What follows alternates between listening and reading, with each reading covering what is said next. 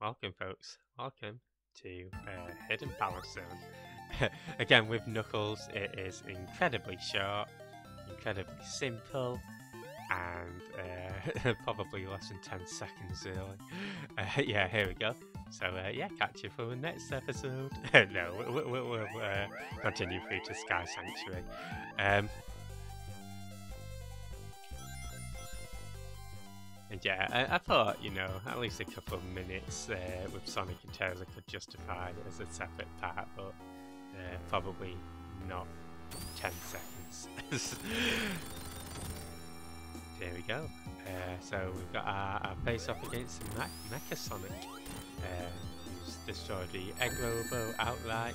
Uh, you do get a few rings to start with, so it's not too difficult. Uh, in fact, this fight is, is pretty much what you're used to. Um, to be honest. Uh, of course, you've got the groovy boss music. Uh, the next fight's always pretty interesting, actually. Uh, again, I think the implication is Mecha Sonic has stolen the Master Emerald, and you can see the uh, floating island is uh, threatening to fall down again. So yeah, it's pretty cool that it turns into like a, super version. Uh, avoid the orbs. And uh, I find that normally you can get two or three hits in. You just let him fly about, shoot his lasers.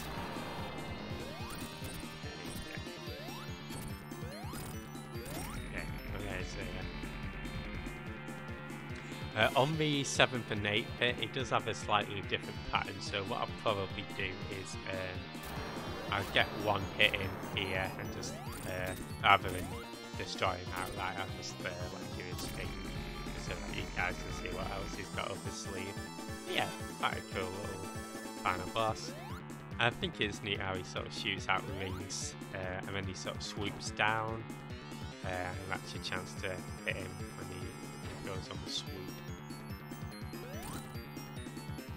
so again, not too difficult. Uh, pretty neat. I sort of wish there's a bit more Mechasonic through uh, Knuckles food, but just to sort of foreshadow that final boss. Uh, but still, it's quite, quite fun. There we go. That's the Knuckles playthrough over and done with. Um, so, uh, thank you as always for uh, popping by, for watching this. Uh, again, if anybody really wants to see a Tails playthrough, uh, do feel free to let me know, uh, and I'll be more than happy to uh, to show Tails off. But um, as I, have mentioned previously, I, I, don't think it'd be too distinct from the Sonic playthrough to perhaps justify, but again, it's up to you guys. Uh, and um, yeah, cheers for, for watching. Uh, cheers everybody who's enjoyed the uh, the playthrough so far as well.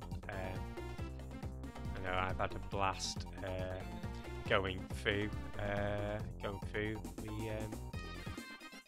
games again. It's one of my favourite games uh, ever, certainly one of my favourite platformers. Um, and uh, yeah, I've just been uh, having a, a blast. Uh,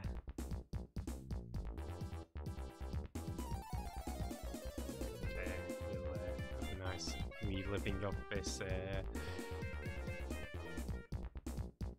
little medley credits go scrolling by. Um, and uh, again, I do think it's neat how they did do so much to modify the Knuckles playthrough. Um, so, yeah, anybody playing Sonic 3 Knuckles for the first time, I definitely recommend doing both the Sonic playthrough and the Knuckles playthrough just to get the most out of it. Or, you know, doing your Tails and then a Knuckles playthrough whichever you see fit.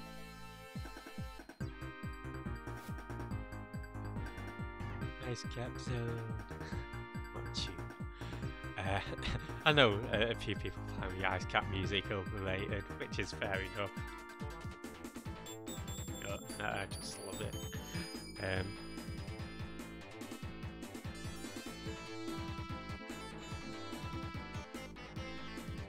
again, Flying Battery Zone was one that sort of grew on me as I grew up.